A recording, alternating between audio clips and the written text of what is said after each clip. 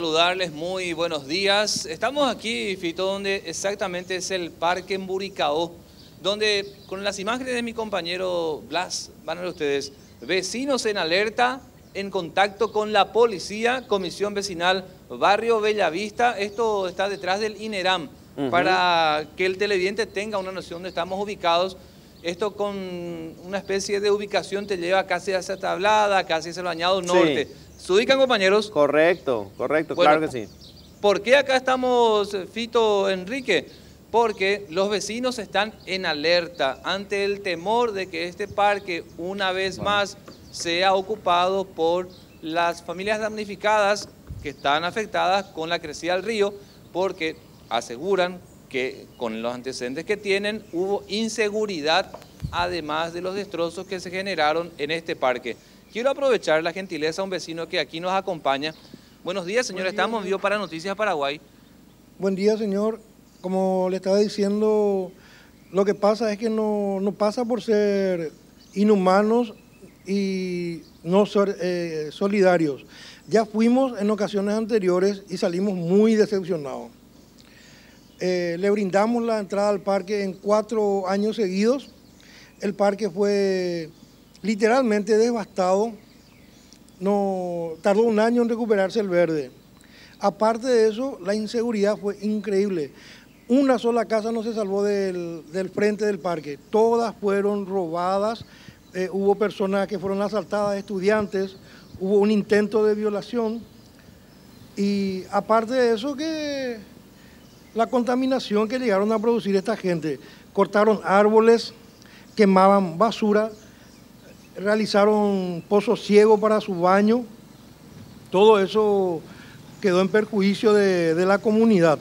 ¿Con usted podemos entrar acá? Sí, claro que podemos, no hay ningún problema. Fito, vos sabés que no, no, conocía el parque, Diego, es la primera vez que escucho hablar del lugar, se nota que está bastante lindo, pero ¿quién habilitó este lugar como refugio? O sea, ¿fue una cuestión de, las personas que fueron afectadas nada más o la municipalidad les habilitó este lugar el año, en años anteriores? Uno puede suponer, te cuento Fito, hace años que venimos a este lugar a hacer enlace en vivo también para eh, nuestros respectivos noticieros. Este lugar se usó como refugio y le vamos a preguntar al vecino, que es el que sabe bastante, ¿usted que sabe de quién autorizó? ¿Fue la municipalidad para que estas familias ingresen aquí o fue, digamos, el gobierno nacional a través del MOPC y otros organismos?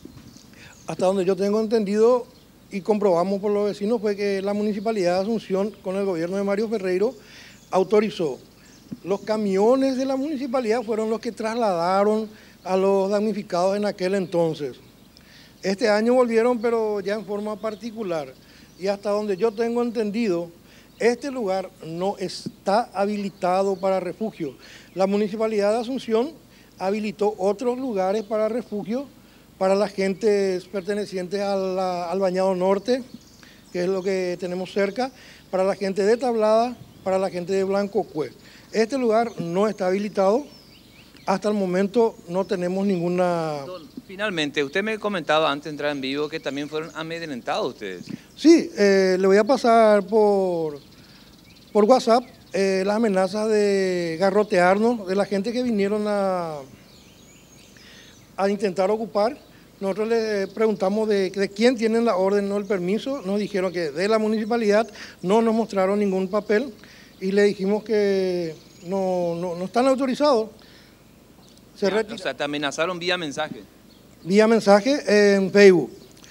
Incluso al salir de acá, tengo filmación que te voy a pasar, casi le atropellaron, le jugaron para atropellarle con un motocarro a una de las vecinas. ¿Este amedrentamiento cuándo empezó? El lunes. El lunes. Ahí está. ¿Su nombre, señor? Luis Emilio. Muchas gracias, don Luis Emilio. Eh, Enrique, Fito, ustedes ya tienen aquí la impresión por parte de los vecinos. Hablan de una inseguridad, por un lado, teniendo como antecedente las otras inundaciones y el estado en que dejaron, dicen los vecinos, en relación a cómo se encuentra el parque emburicado. Claro, eh, aquí finalmente eh, la responsabilidad es del municipio y de la Secretaría de Emergencia Nacional, Diego. No pueden permitir que la gente se empiece a enfrentar cuando no hay ninguna instrucción de parte de, estos, de estas instituciones. Ellos tienen que planificar, ellos tienen que organizar, ellos tienen que trasladar a la gente y no puede ser que los vecinos tengan que estar ahí tratando de salvaguardar un parque cuando la gente también está desesperada por buscar un lugar alto y escapar de las aguas, ¿verdad? Acá el problema y la negligencia y la tardanza es de la municipalidad y de la Secretaría de Emergencia Nacional. Bueno, es finalmente una situación que pone otra vez, Fito, eh, en una situación de, de, de, mucha eh, sensibilidad, de conflicto, porque estamos hablando de gente afectada con el agua. Pero estamos hablando de vecinos también que están aquí afectados por la inseguridad, dice, y también por cómo queda el parque, que son ellos los que finalmente cuidan. O sea, una situación conflictiva, dramática, por la que atraviesan ambas partes, Fito.